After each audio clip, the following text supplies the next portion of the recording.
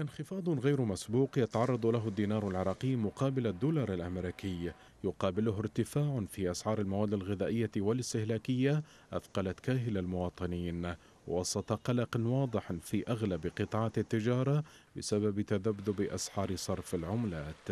الانخفاض الجديد لقيمة الدينار تزامن مع تسريبات عن نوايا أمريكية بفرض عقوبات على مصارف عراقية متهمة بالفساد وغسل الأموال وخرق العقوبات المالية الأمريكية المفروضة على إيران. فيما تلتزم حكومة السودان الصمت رغم علو صراخ قواها المشكلة لها قبل أشهر بوجوب إعادة قيمة الدينار أمام الدولار إلى 1200 دينار. الاتحاد الأوروبي دخل على خط الأزمة وأكد أن ارتفاع أسعار الغذاء وغياب الاستقرار السياسي والتغير المناخي والجفاف وتداعيات الغزو الروسي لأوكرانيا كلها أسباب ألقت بظلالها على العديد من العراقيين الذين بات جزء منهم غير قادر على سد حاجته الأساسية ولا سيما النازحين وهم الشريحة الأضعف في المجتمع.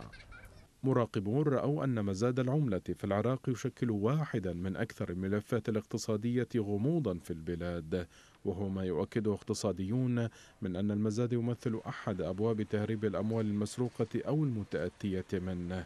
وأبرزها سرقة القرن التي ما زال الغموض يلف إجراءاتها ولا سيما أن رئيسة اللجنة المشكلة للتحقيق فيها حنان الفتلاوي كتبت على حسابها في مواقع التواصل الاجتماعي وكأنها ناشطة مدنية متسائلة عمن يجيبها بشأن نور زهير وأين التريليونات وأين موقف محافظ البنك المركزي من انخفاض الدينار أمام الدولار.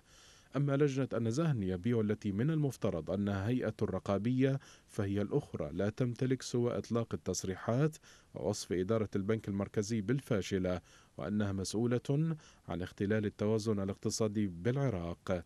وفي محصلة تؤكد أن الضحية مواطن ما عاد يملك قوت يومه.